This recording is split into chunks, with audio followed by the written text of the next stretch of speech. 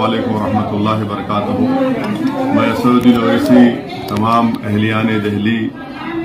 की आवाम से, जनता से अपील कर रहा हूँ, बुज़ुर्गों से, हमारी इज्जतदार माँ और बहनों से, और नौजवानों से,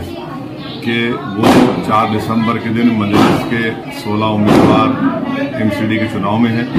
आप तमाम लोग से गुजारिश है कि अपनी पार्टी को मज़बूत करिए इतिहाद को मज़बूत करिए और अपनी आवाज़ को एम सी डी में भिजाइए मजलिस के